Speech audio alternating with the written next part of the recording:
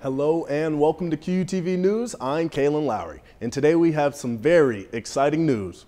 Brenner Library will be hosting a very special event for all of the Quincy community to experience.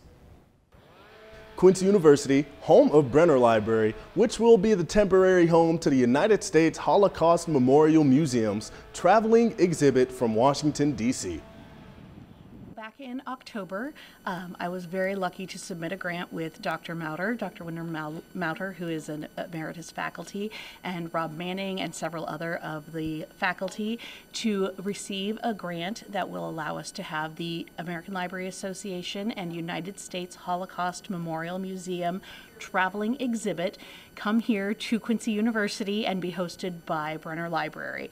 This exhibit is used to challenge the commonly used assumptions that Americans knew little and did nothing about the Nazi persecution. We will have to move around the furniture a little bit for the six weeks that the exhibit is here in the library. We'll be mostly here in the main room and then at the far end of the building where the large tables and some of those individual study tables are set up. So we'll be a little crowded during those six weeks, um, which will be October through December of 2026.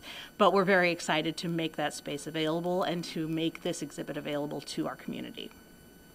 We want to give special thanks to Michelle Kirkham, who helped with the grant, Dr. Wendell Mauter, Dr. Robert Manning, and Dr. Rohan, who pre-planned for the exhibit, and letters of support from Dr. Todd Pettit, Superintendent of Quincy Public Schools, Mark McDowell, Quincy Notre Dame High School Principal, the Illinois Veterans Home, the Historical Society of Quincy and Adams County, and Polis, who provided proof of community support for QU and Brenner Library.